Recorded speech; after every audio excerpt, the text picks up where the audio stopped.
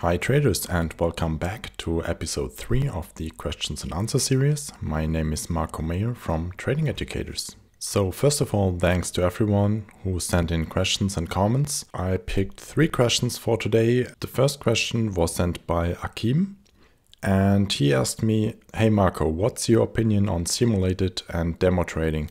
Is it a good way to start? So in my opinion, totally. If you're new to trading, the best way to get started is really to sign up for some demo account and get started this way. Pretty much every broker offers it nowadays, whether it's stocks, futures, or forex CFD brokers. You can get a free demo account there, and this allows you to make your very first steps. So it allows you to get into the platform of the broker you're using so you really understand it and to test out everything you need to test see if it does what you want it to do and whether you have any open questions or issues with it that you want to solve and understand. Now, the second aspect of this is, of course, does it help your trading? Does it help you to become a better trader? Or should you start out right trading with real money? And here too, definitely start with a demo account, see how it goes, and see how you can you can handle this and see if you can be disciplined on your demo account because if you can't be disciplined on your demo account you'll also have trouble trading live because that's when the real emotion's gonna kick in. Now one thing many traders do wrong when they start on a demo account is that they open up a demo account and then they put in whatever $200,000 in there. So you can select the amount usually you want to have in. And later on they're going to start trading with five or ten thousand dollars which is of course a big difference. So my suggestion is to really make it as realistic as possible and choose an amount of money in the demo account that you think you're going to start trading with later on with live trading. This way the numbers you're going to see on the screen will be about what you're going to see later on when you start trading out. But then at some point when you've been on demo for a while and you think it's going good, I think it's also important to start trading with real money and not wait too long doing so. Just because demo trading with demo money is a very different kind of thing than trading with real money, and you just won't really get into it before you start trading with something that actually hurts when you lose it. So there's a difference if you lose $100 on a demo account, which is nothing, or if you really lose $100 and see how you react to that. Now, my suggestion regarding this is, of course, in the beginning, you probably will lose money as a trader when you start out. That's just the way it is. So, what you want to do is, yes, you want to go to live trading quickly, but do so in a way that you don't lose a lot of money. So, go ahead maybe and open an account with just $1,000. If you're trading Forex, for example, that's no problem. Go to a broker where you can trade small unit sizes. So maybe you're just going to risk 10 bucks on a single trade. And that's going to be fine for in the beginning. It won't hurt you too much, but it's going to be something. So you're going to take it really seriously. The next question I got from Matteo, and he's asking, I have some difficulties to recognize and trade Traders Trick entries on 1 through 3 formations. How can I recognize if it is the end of a trend and so a 1 to 3 formation or simply a correction for trading ledge or trading range? That's a good question. Now, those of you who don't know about 1 to 3 formations and the TTE, which is the Traders Trick entry, you might want to go to tradingeducators.com and you can get the free ebook there with the information. So I'm not going to explain the formation now, but just going to answer Matteo's question here. So on the chart he sent me, he marked the 1 to 3 low right down here. Now, first of all, every 1 to 3 formation is a 1 to 3 formation. There's no even if it's right inside of a trading range, it is a 1 to 3 formation.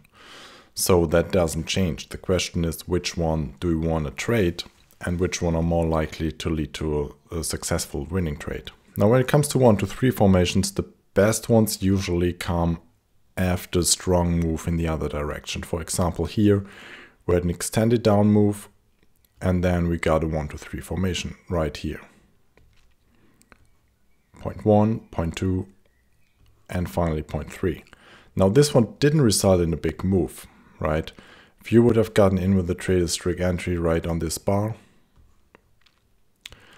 you would barely have been able to maybe cover costs or it barely would have taken out the 0.2 here. But it would have been basically a nice trade because it happened at the end of a strong down move.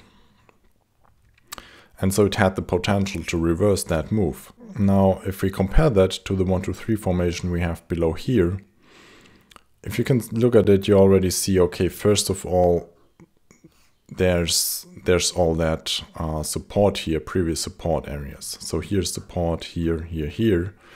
And now what we have here is, yeah, it's a 1, 2, 3 formation, but basically it's just a move back to this lows here. And the second thing is it didn't happen after a strong down move. If you look at the price bars that did lead to that, so this one's here, it's not really a strong move and it's already consolidating basically starting here, right? So we have we have a leg down, we have another leg up and then another leg down. And this all happens within so like a little trading range here. And then now we get a one, two, three formation.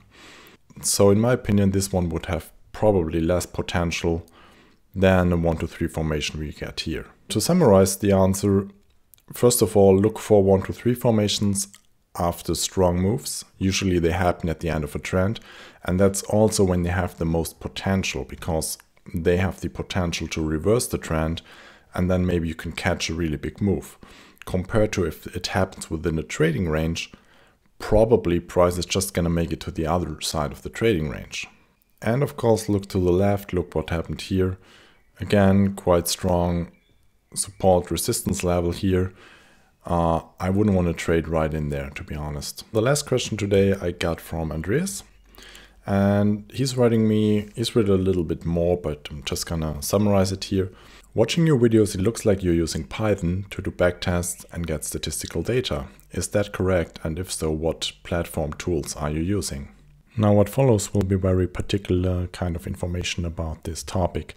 So if you're not into backtesting, into systematic trading, that's the last question I'm going to answer today. And if that's not a topic you are very enthusiastic about, you might want to drop out right away at this point and then come back at the next episode where I'm going to answer some more basic questions again. So yes, while I'm still using Genesis Trade Navigator and other tools for basic stuff like charting, nowadays I'm doing my backtesting with my own platform which is what a lot of professionals do nowadays. So you will hardly find any hedge funds or CTAs out there who are using one of the basic retail platforms to do their backtesting, and there's very good reasons for that, and I'm going to jump into a couple of these right now. So first of all, I wanted to have a real good understanding of what a backtest would do, what it would show me, and how it would operate actually. So in other words, I wanted to understand what that thing is doing when I press the run button right? Of course, I had a pretty good idea of what that is right before. Otherwise, I wouldn't have been able to come up with my own backtester. But at the same time, when you buy a platform and you use it, you don't really know usually how it really operates, right?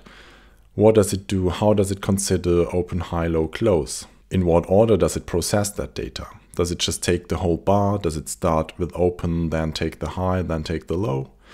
Does it use intraday data to do so if you test it on a daily price chart? If so, to what extent? When does it consider an order filled and what price is it going to use?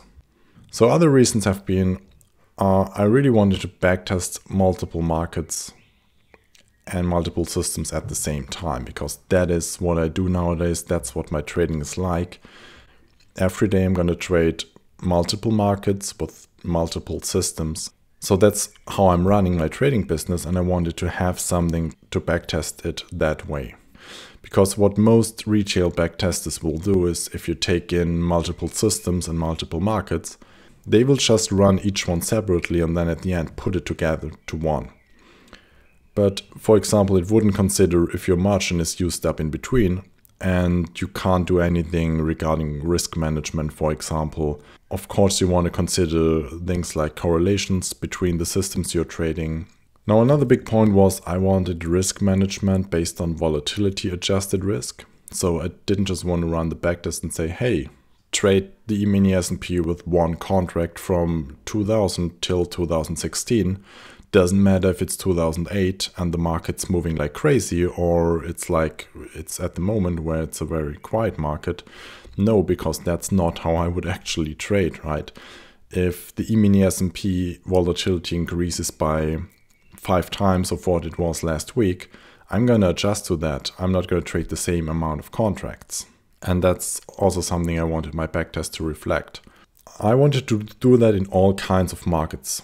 I want to do it in futures, stocks, ETFs, and Forex. And especially for Forex, I want to be able to use whatever data I want. So I have multiple broker feeds running in. I want to take the data where I'm actually trading, which at the moment is LMAX, and use the bid ask that I get from them. Uh, and I don't want to use just the bid price for both buy and sell orders because that's just not realistic. The biggest point probably was that I want to have total freedom to test out any idea that I have without hitting any limits because I can't include it in the backtester or I have to do something very complicated like write my own plugin. And in the past I always had various ideas where I thought, well, it might be interesting to backtest this, but I just couldn't do it because it simply wasn't possible due to limitations of the platform I used. I want to do stuff like um, try out equity curve trading based on Monte Carlo simulation results. I want to have my own optimization functions. For example, if you do walk forward testing, you always have an optimization function that you use. And I don't want it one that just picks the highest results or the best profit factor.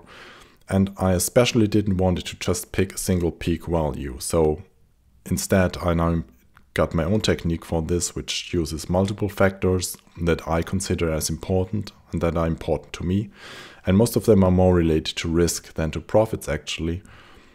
And I have it built in a way that it prefers stable areas instead of peaks. Other things I'm doing is use machine learning techniques, signal filters that are usually not related to trading. So, for example, image processing and so on. And that's all stuff you can't do with most of the platforms out there.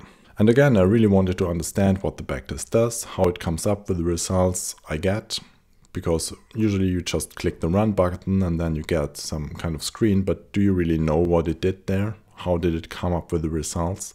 Is it realistic? And while doing so, surprisingly, I found some quite what I consider serious issues in pretty much any of the retail platforms that I tested against. So one example is one of the platforms, if you put in the option that you want your limit order filled only if price traded through, now this platform, if the open was at that price and it wasn't higher, it considered it filled. So it just used the highs and low, but it didn't consider the open, which in my view is plain wrong because if I don't want it to be considered filled if it doesn't trade through. I want it that way, and it also makes a lot of sense, especially on an intraday price chart. Then again, measuring things just in US dollars for one contract, um, which is the default mode in most platforms, doesn't make sense to me. Um, because that's not the way I trade. What I do is uh, I measure things against risk. So whether that's uh, volatility or distance to the stop and so on. I can put in whatever I want to put in and measure it against that. Another point that's very important, the longer you do that kind of stuff, the more important it gets, is uh, trading costs. So slippage, spreads, commissions, um, based on each instrument. Now, in most platforms, what you do is you just put in an amount there, like let's say $10 per contract for slippage and commissions, and that's it.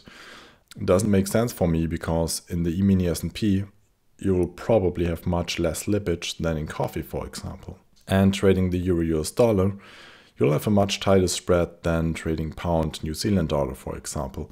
So I don't want to have just one option for that. What I got now is I got trading costs per instrument depending on what I will probably get there in the specific market. And that now allows me, for example, to measure the trading costs of each instrument against its average daily move. Meaning I might come up with a system of different parameters where one of the parameters is trading a lot more than another one. Let's take a very simple example of uh, moving average crossovers. So if you take lower values, you're going to have much more trades. And now I can consider trading costs into that and might decide, okay, in the euro US dollar, I generally want to have more trades because it's not going to hurt me, but I don't want that in pound New Zealand dollar because here I know I'm going to pay a lot for each trade. So that's some of the reasons why I decided to go my own path here and create my own platform. And for most traders, of course, this doesn't make sense because it takes a lot of time, it's very complicated to do, and you can do a lot of things wrong. But for me, that's what I do for a living. So I wanted to make sure that I use the best tools I can so that I'm at no disadvantage with the other professionals in that field. And the second part of the question was what platform tools are you using? So again, I built my old platform, but luckily in the world of Python, there's a lot of tools available that are going to make your life a lot easier. Um, so the basic structure I used was to use Python, IPython and Jupyter Notebook. And some of the modules I'm using, of course, Pandas and NumPy, SciPy, scikit-learn, stats models. For plotting, I mostly use Matplotlib, Seaborn and Bokeh. And also use the TALib, which gives you some basic technical indicators, and Pyfolio which is a module that helps you to measure performance in various ways, which I found quite helpful. Now, a very good video to get started if you're interested just with pandas, for example, to do some very basic prototyping or just to evaluate some data. Go to the URL you can see there, go.continuum.io slash pandas for finance. Really great video that's going to give you an, an idea about what, what this world looks like. So that's it already for today. If you have any questions you want to have answered in the next Q&A episode, just send me an email, comment on YouTube or our blog forum. And if you didn't do so, join us at Trading Educators and subscribe to our YouTube channel right below. This way you'll see right away when we post new content like the next Q&A episode, for example. Thank you for watching and see you next time.